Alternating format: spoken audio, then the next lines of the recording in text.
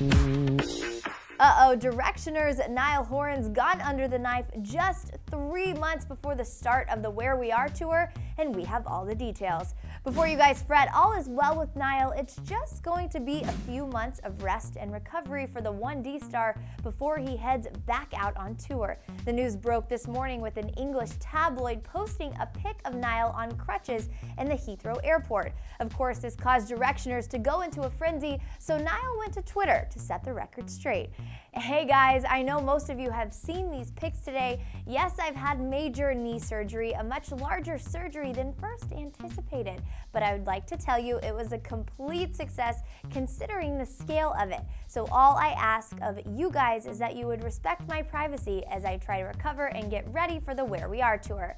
If you don't remember, Niall was also on crutches back in 2012, claiming slash joking that a squirrel attacked him in Battersea Park.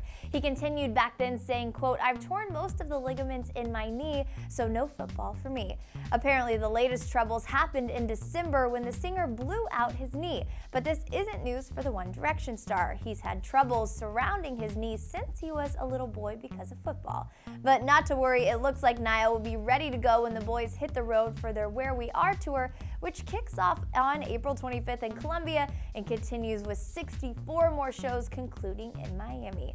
So what do you all think of Niall having surgery this close to the launch of the tour? We're sending him our best wishes for a speedy recovery, and you guys be sure to do the same. Thanks for watching Clevver, and make sure you keep it here for all the latest. I'm Brianna Baxter. See you guys next time.